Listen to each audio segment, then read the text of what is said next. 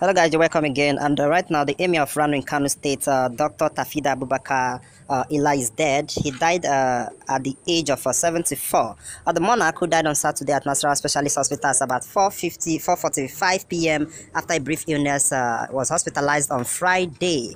Uh, the Emir of Rano, Dr. Tafida Abubakar uh, Emirates is one of the four new Emirates that was created during the Kano division uh, for the Kano Emirates uh, by Governor Ganduje, a member of the House of Representatives uh, uh, representing Rano and Bakure, Alhaji Kabiru. Al Hey guys, welcome to this channel. Please subscribe on your notification bell, like this video, and comment your opinion on what you feel about this video. Thank you very much. Stay tuned. and told the journalist in Kano State that uh, the Emir of Kano, Dr. Tafida Abubakar Ila, died at Nasarawa Hospital. A former speaker of uh, the Kano State Hospital of uh, Assembly, uh, State House of Assembly, uh, Rurum, said the later, late Emir would be buried on Saturday. So uh, the later Emir of Kano State, who was one of the newly appointed first-class monarch that was appointed by Governor of Kano State, uh, Governor Abdullahi Ganduje, the late Emir left behind 17 children, 12 female and 5 female. Alright guys, now just stay hold because we're getting more trending informations and updates. Don't forget,